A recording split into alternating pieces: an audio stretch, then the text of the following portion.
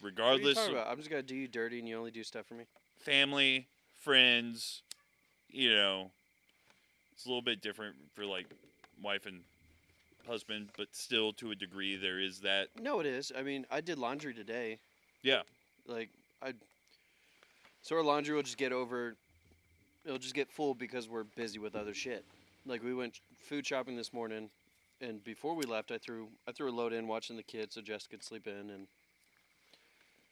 and then came back, took it out, folded a huge portion of it. It was like fold the pants because we hang up all our shirts, and put away the socks and underwear. It just boom, problem solved.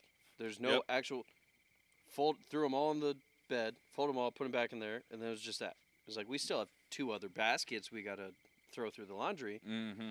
but our our machine pretty much is just a fire and forget. I really want a second one because it's the washer dryer Just combo. put them side by side. Man, that's epic. It was like I've seen other people do that, and it was like next house, I'm doing it. It's about two grand, but oh no, for the fire and forget and the ease of life, and then Yeah. the app go, you got 47 minutes left. I got enough time to start something else. Well, I mean, I I am not necessarily like I don't necessarily. We've talked about this, I think, on Pod before, but I don't necessarily need the smart water heater.